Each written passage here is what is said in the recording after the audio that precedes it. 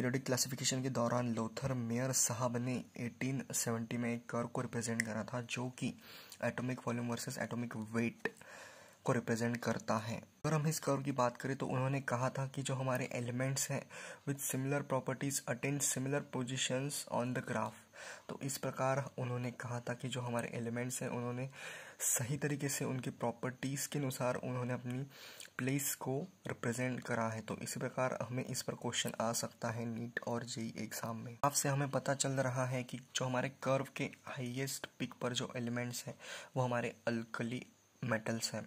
और जो हमारे डिसेंडिंग कर्व में जो एलिमेंट्स हैं, जैसे कि बेरिलियम मैग्नीशियम और कैल्शियम वो हमारे अल्कलाइन अर्थ मेटल्स हैं। और जो हमारे असेंडिंग कर्व पर जो एलिमेंट्स हैं, जैसे कि फ्लोरिन क्लोरिन ब्रोमिन आयोडीन तो इस प्रकार ये हमारे हेलोजेंस हैं, जो कि असेंडिंग कर्व पर है। तो इस पर आपको क्वेश्चन पूछे जा सकते हैं। और जो हमारे बॉटम में है, वो हमारे ट्रांजिशन एलिमेंट्स हैं।